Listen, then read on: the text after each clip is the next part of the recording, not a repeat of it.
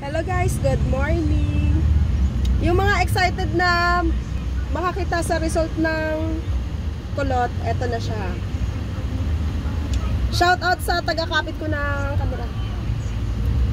One, two, tuna. One, two, tuna. One, two. Wala pang. Hindi, lang siya.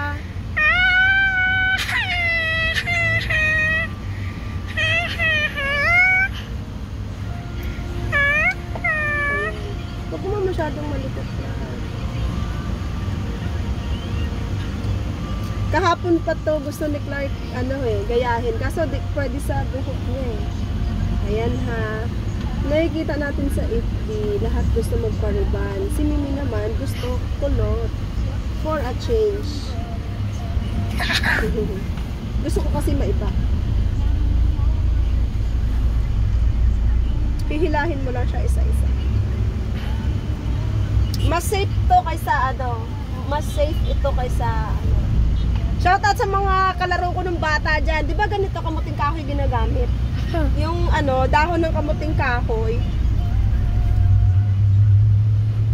Ganda naman kuya.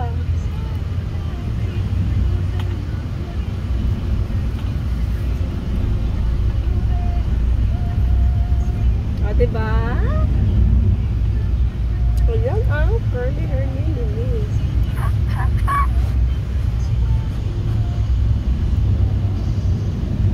Mas safe ito kaysa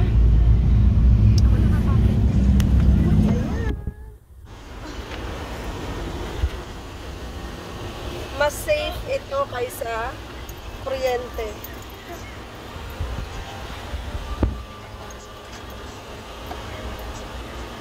Tapos dito na natin kung gaano siya katagal. Kung ga, hanggang kailan abutin ba ito ng mamayang gabi. Happy Sunday!